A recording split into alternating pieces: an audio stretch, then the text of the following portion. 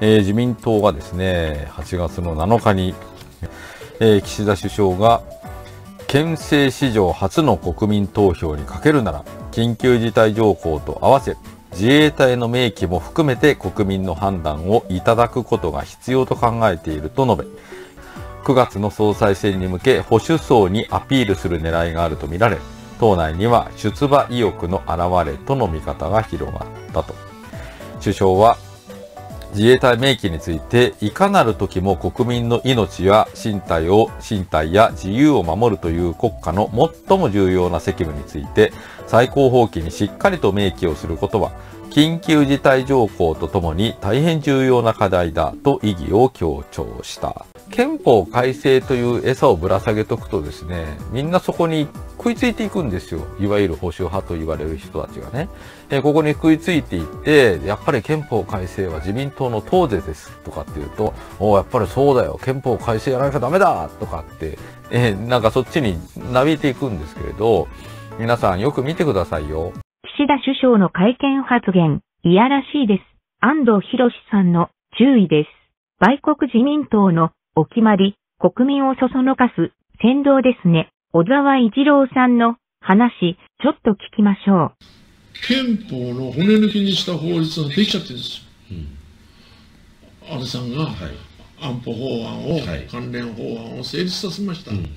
あれで憲法9条と関係なく海外派兵を、うん、一般法でもって内閣の決定でできるようにしちゃったんです。だけど国民もマスコミもその点をあまり言わないんですよね。だからそこをね、その脱法つか脱憲法、憲法を骨抜きにする行為を現実にやってると。うん、だから僕はあの法律は廃棄すべきだと思う。うん、真正面からやっぱり、うん、と取り上げて国民と語り合うべきだと思います。憲法9海外派兵は、ね、自衛隊のね、自あの自国の軍隊をね、はい、あの派兵することはダメだっていうのが憲法9条ですね。はい国際紛争に関して自衛権の発動はダメよと、集団的自衛権であれ、個物的自衛権であれ、はい、自衛権の発動はいけませんというのが9条で、これは本当に当然遵守すべき原理だと思う。うん、っていうのは、今まではみんなそのそれぞれの国が勝手に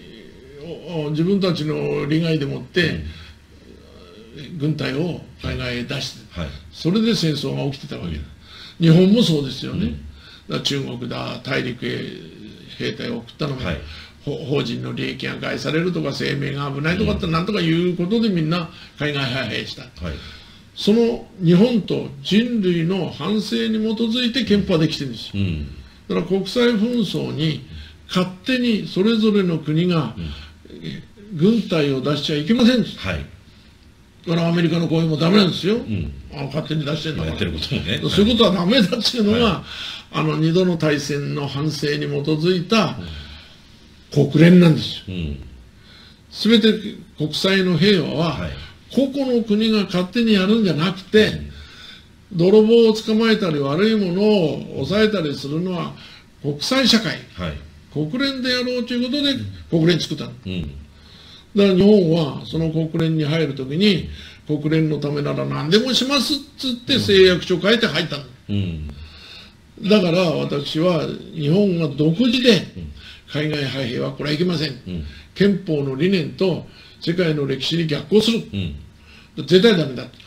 い、じゃあどうするかというと人のことは無関心ではなくて、国連が決めたことについては全面協力します、それは自衛隊を預けますと出すんじゃなくて国連に預けます。ということは国連日本の戦前の過ちを繰り返してはいけない。1920年代、外国に侵食された中国は国を再建するために苦しんでいた。日本軍は中国国内の混乱に乗じて中国大陸に兵を派兵した。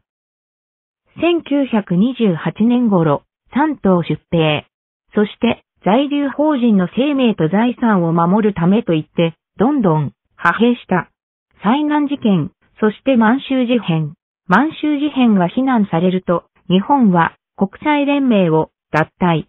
さらに侵略を続け、日中戦争の泥沼に派兵を禁じた日本憲法はとても大事だ。それなのに、岸田さんの自民党の総裁再選のための憲法会見、戦争できる国、何それ？そんな、売国自民党と、それにすり寄る、不潔な政党、公明党、維新、国民民主党、売国の行為は、やめさせよう。